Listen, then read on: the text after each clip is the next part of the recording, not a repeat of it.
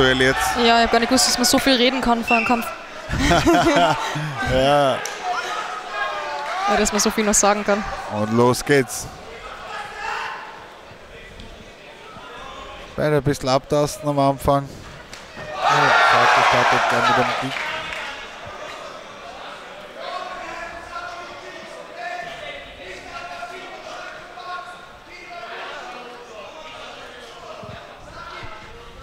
Man merkt auch schon, aber versucht ruhig und cool stehen zu bleiben. Sake versucht reinzustürmen da. Da kennt man, da sieht man den Dia-Style ein bisschen so auf die Art, leck mich am Arsch, ich bleib mal stehen, komm du. Er steht da sehr gerade da, also ist Ah ja. sehr hoch oben. Ein bisschen so ein Karate-Stand fast. Genau, ich wollte gerade sagen, aber ich war mir nicht sicher, ob es wirklich Karate ist. Ah, ist es, ähm, so, so eine Mischung. Ja. Wie ist das jetzt da ähm, am linken Schienbein von Janawa? Ist dieses Teil aufgegangen? Ah, vom, vom Schoner, ja. Der, Kann man äh, da der- kurz das richten? Ja, Ja, ja. genau. Ja, Geht dazwischen wieder kurz die Zeit gestoppt nochmal, genau. normalerweise. Ja, ist spannend. Das Muss- ist halt der einzige kleine Nachteil am Amateur, wenn du der Schütze dabei hast, dass Ja. sowas passieren kann. Jetzt ist die Zeit eh ausgeblendet worden und gestoppt worden. Coachen ist nicht erlaubt in solchen Unterbrechungen, Mhm. auch zu erwähnen. Ist auch spannend, dass man da von einem Profikampf dann wieder zurückgeht zum, ähm, zum Amateur. Ja, von der, von, von, von der Qualität vom Level sein, her, ja. die zwei Jungs, Ja. sehr gut. ja.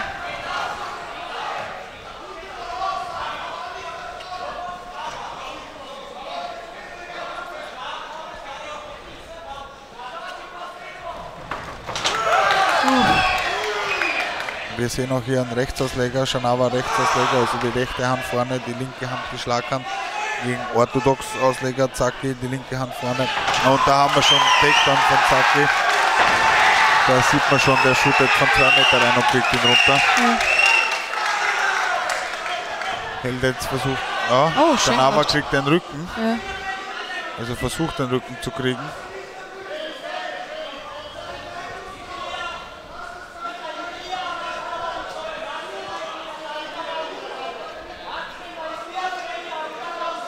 Er die Hand von Zacke ist zwischen seinen Füßen einklemmt, sehe ich gerade sehr ungute Position.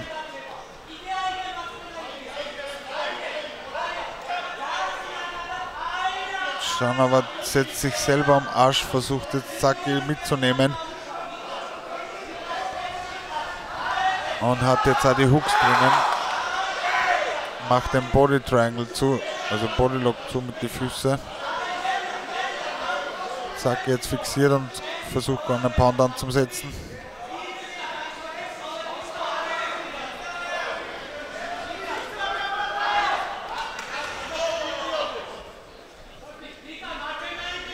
Saki macht das ganz gut, versucht sich zu ihm zu drehen. Das ist jetzt die einzige Möglichkeit, um rauszukommen und schafft es auch. Muss jetzt aufpassen, dass er in den Armbar reinkommt und ist wieder heraus.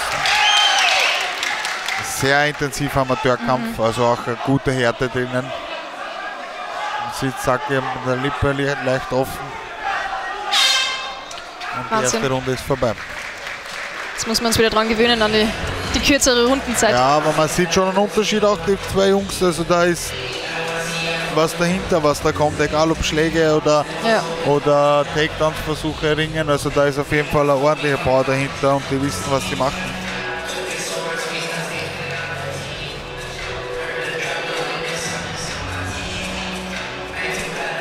Gespannt auf die zweite Runde. ja. waren beide sehr, soll ich sagen, sehr angespannt jetzt ein bisschen. Ja, das hat man richtig gemerkt, dass es war in der Ja, Luft. Ja. Also sehr erhitzt, sagen wir mal so. Ja.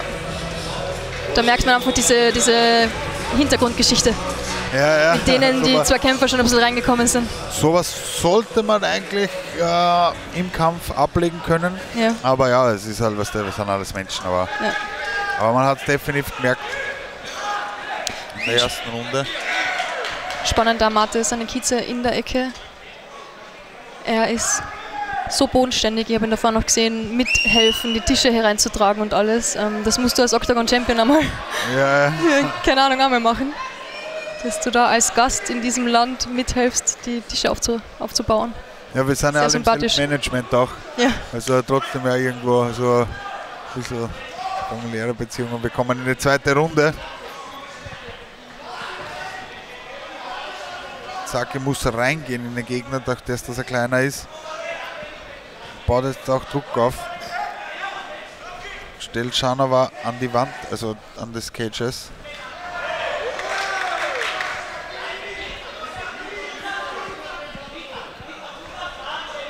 Guter Kaufkick von Schanauer. Oh, Schön. Question Mark Kick. Ja, der zweite heute. Oh, guter Drehkick von Schanauer. Zacki gut unten durch. Sehr intensiv. Ja. Beide. Spannend auch, dass Schanauer mit die offenen Händen so kämpft. Also würde mich nicht wundern, wenn es dann so einen Eye-Poke oder irgendetwas geben wird. Ja, bei die, bei die Handschuhe nicht so. Die haben die Polster, da ist die Polsterung noch ein bisschen größer. Da Mhm. ist das Risiko nicht ganz hoch. Und Zacki shootet auf einen Double Kick, dann kriegt ihn auch. Und kontrolliert Schanauer am Boden jetzt.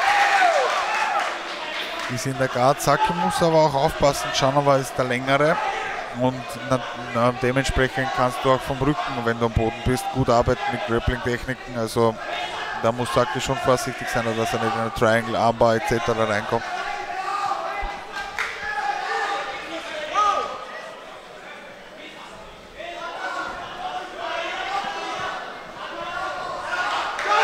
Saki kommt in die Side Control.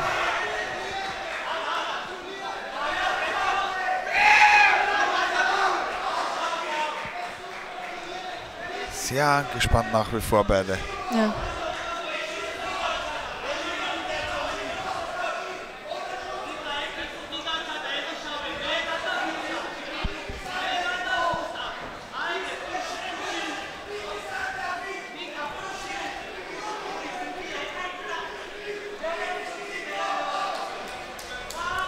Saki hat gute Kontrolle, hält ihn gut unten. Muss natürlich aber versuchen, dass er was anbringt. Schanauer am Rücken muss auch versuchen, dass er rauskommt, um Punkte zu landen, weil wenn es so weitergeht, dann ist die, die Runde an Saki. Definitiv. Top-Position, Kontrollzeit.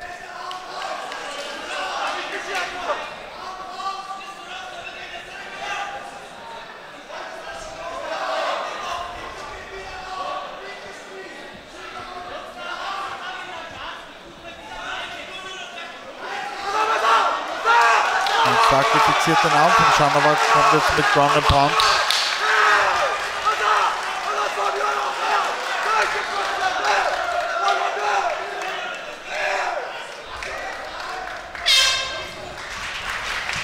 Sehr intensiver Kampf, sehr angespannt von beiden, muss man sagen. ja, immer noch. Also beide haben so, beide Gefühl schaut aus, beide so wie eine Pistole geladen und, Ja. und warten so auf den finalen Schuss so oder, Ja. oder bei- wollen den finalen Schuss vorbereiten. Man hat es auch so ein bisschen gemerkt bei diesen Schlägen, die Saki versucht hat zu machen. Ähm, sehr viel Power dahinter, da Ja, war mehr Verbissenheit hart, ein bisschen, ja. gell? Auch die versuchten Drehkicks von Schanauer, Ja. extrem viel Power dahinter. Also schenken sich nichts die beiden. Ja.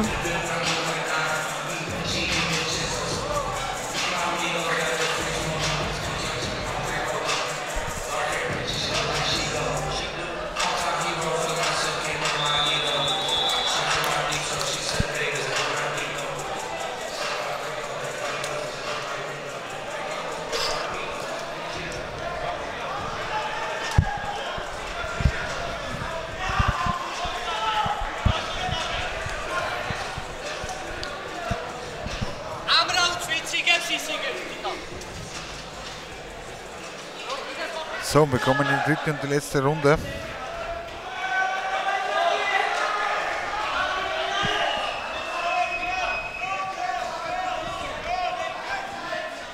Saki wieder im Vorwärtsgang, Schanauer war sehr aufrecht.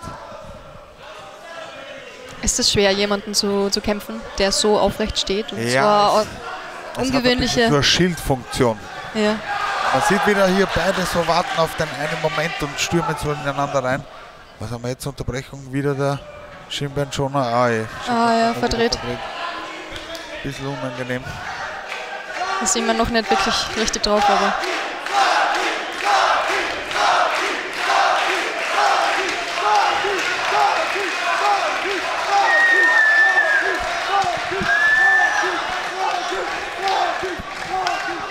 Ein guter Bodykick vom Schana war jetzt.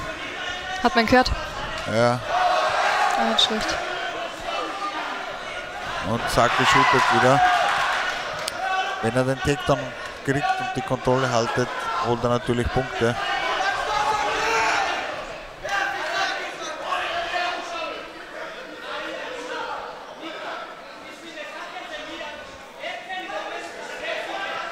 Jetzt haben sich beide ein bisschen neutralisiert am Cage gerade.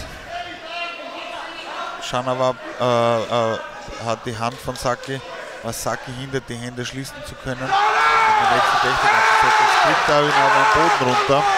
Kontrolliert ihn auch gleich gut. Und hält ihn wieder in der Side Control. Also Saki den Shanawa. Gute Hüftkontrolle auch von Saki. Also am Boden ist er wirklich stark und weiß er, was er macht. Teilt das Gewicht gut auf.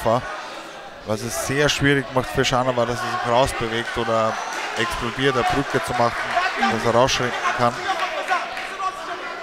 Setzt zwar Schläge von unten, Shanawa macht aber nicht viel aus. Saki versucht auch ein bisschen Luft zu kriegen, um einen Ground and ansetzen zu können, muss aber natürlich aufpassen, dass er keine Luft lässt, dass Shanawa nicht hochkommt.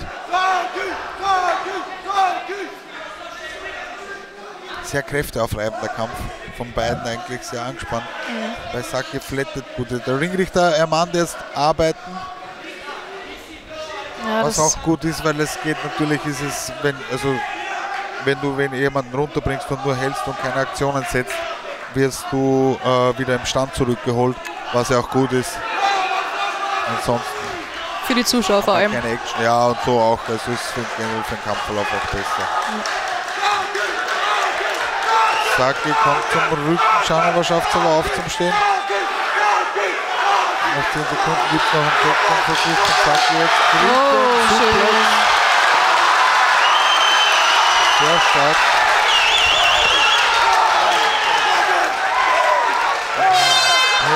Sehr starker Kampf.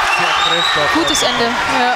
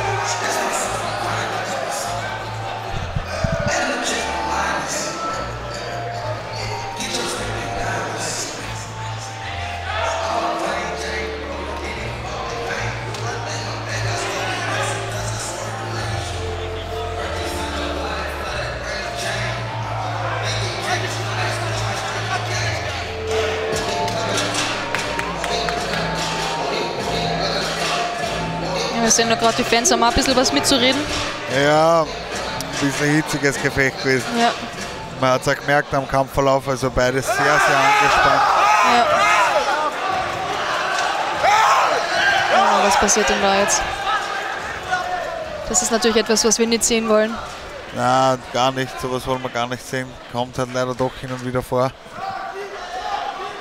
Kann man ja auch nicht ganz verübeln. Ist, ist hin und wieder halt sehr hitzig, aber sollte trotzdem nicht sein. Man sollte sich schon so weit unter Kontrolle haben, dass man zumindest, vor allem nach dem Kampf macht es keinen Sinn. Also, du hast die Möglichkeit, das im Cage auszutragen, wenn du vorher Fede hast oder irgendwas, aber im Nachhinein, das ist nicht gut, soll nicht sein. Und vor allem, sie sind Gäste da in diesem Land. Da möchte man eigentlich die Gäste auch nicht schlecht behandeln oder irgendetwas. Deswegen Ja, wir wissen natürlich jetzt nicht, was alles vorgefallen ist.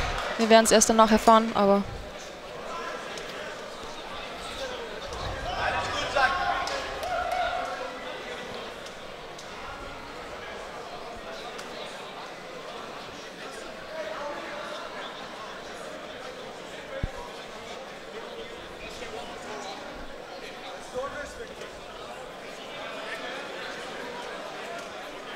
Ja, Jetzt haben wir da ein bisschen einen Wirbel gehabt.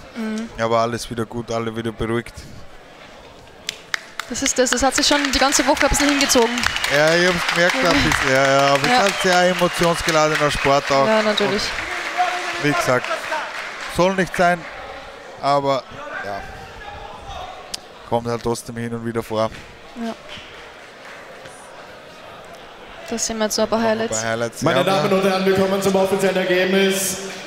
Sieger durch Anonymous Decision. Saki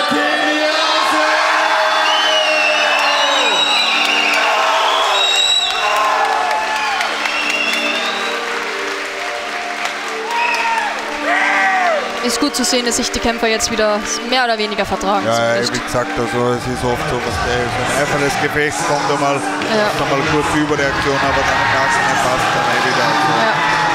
Auch in solchen Situationen. Das gehört dazu, ab und zu, wie gesagt, aber Das stimmt. soll halt immer seine Grenze haben oder man sollte selber wissen, wann die Grenze erreicht ist. Und da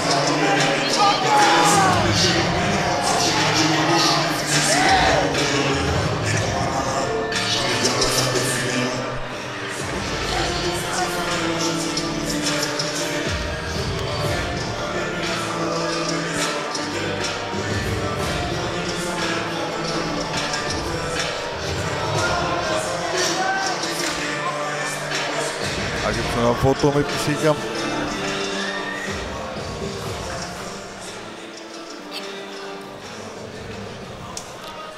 Saki, sehr enger Kampf, aber nur bis du den ersten Takedown gelandet hast. Wie hast du das gesehen?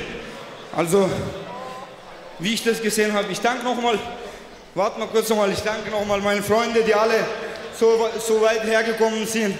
Ich danke alle Trainingspartner, die mit mir jeden Tag mich aushalten müssten. Ich danke allen, jeden von Einzelnen, die da sind, die mich supportet haben bis hier. Ich danke nochmal, es wird viel weiter noch mehr kommen. Das, ja, sie wird sie nicht vergessen, das verspreche ich euch, okay? Das vergisst ihr nicht so schnell. Und einen großen Dankeschön an meine Familie, mein Bruder, der Sajad, der da ist, meine Eltern, die zu Hause von zu Hause anschauen. Ich danke nochmal, dass sie mich so supportet haben. Und ich bin dank denen hier. Danke, mein Trainer. Saki, wie zuversichtlich warst du, dass du den Gegner auf den Boden bringst? Das ist meine Spezialität. Wenn ich das nicht hinbekomme, bei, dann nenne ich mich nicht mehr Ringer. Dann werde ich wahrscheinlich irgendwas anderes. Mauro oder was auch immer. Das ist mein Sport, Ringen. Und ich werde ihm jeden Takedown, jeden, der, der sagt, der ich das nicht schaffe bei dir. Gratulation, Saki Nielsen.